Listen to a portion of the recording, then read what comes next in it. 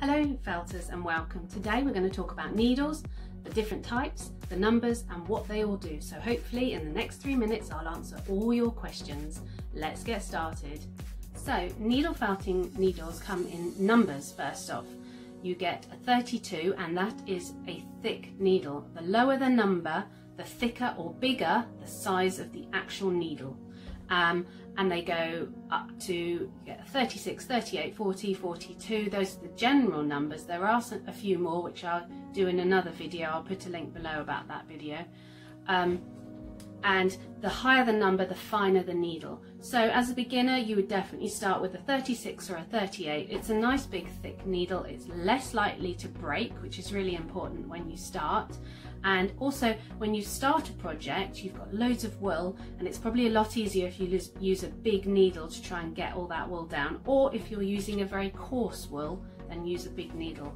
As you get towards the end of your project, whatever you're creating, then you would go up to the finer numbers, which would be the 40 or the 42. So that is the size of the actual needle itself. All needles have barbs on the end and these barbs drive the wool into itself. When you needle felt, something is only going to get smaller.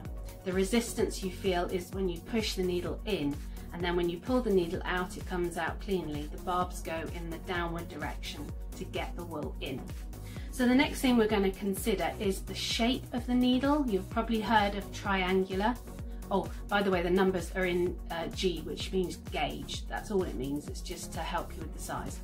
Um, so the shape of needle, triangular, is definitely a really good starter needle. So a 36, 38 triangular is your basic needle for most people to go to to begin with stuff.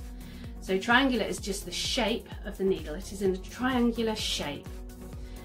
The next needle you would consider is a cross needle. So it's, it's cross or star, they call it. So it's kind of like that and down there we go um, and that is it's a very good general all-round needle it's not the thickest needle it could break quite easily if unless you're careful with it so again it's um, midway through a project towards the end or the finer detail. And then the next needle you get is a spiral. And a spiral literally the needle spirals down. Again they're quite weak so you would only use them for the outside and for the finer details and the finishing details. Um, and the more specialist needles like the star and the spiral will give you a more professional, smoother finish. I'm going to do a video on how to get a smooth finish with needle felting, very popular subject. First one here is the triangular and you can see the barbs just on the end of it. Those are the little notches. This next one is the cross, very tricky to see that one. And then the spiral, which I think is the prettiest. So that was the sizes of needles and the shapes. Beginners are 36, 38 triangular. And then the last thing I'm going to mention briefly is needle holders. Actually, we'll do the pen one first. This is a pen type. It's got um, three needles in it. It will help you speed up your work. Be careful because this one I bought doesn't open, so I can't replace the needles. Get one that does open up so you can replace the needles if they break. The next one I really love is a wooden handled one. This has got three needles in it. This pulls out and you can open up and change the needles. And very niftily they store back into the handle when you're traveling.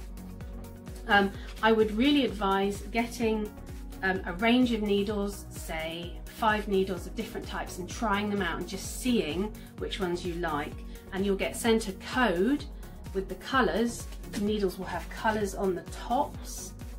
Uh, you can see some of those colours there.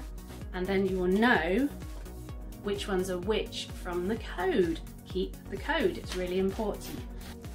So that's it for needles. Um, I do a much longer video discussing types of mats, types of needles and types of needle felting tools, so that will really help you. I will put the link below.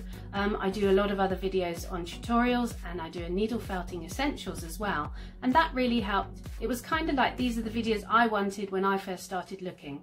I do simple tutorials on sheep and cows, and I do slightly more in-depth ones on sheep like that and I do time lapses on horses and I've got loads more videos to come. So do subscribe do like this video because that really helps me keep making more videos and thank you for watching